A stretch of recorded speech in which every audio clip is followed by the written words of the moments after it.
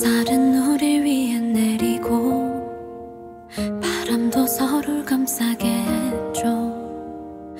우리 웃음 속에 계절은 오고 또 갔죠.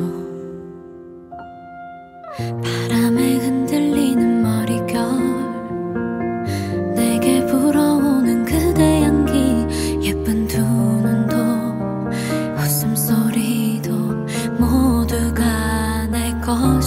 것이었죠. 이런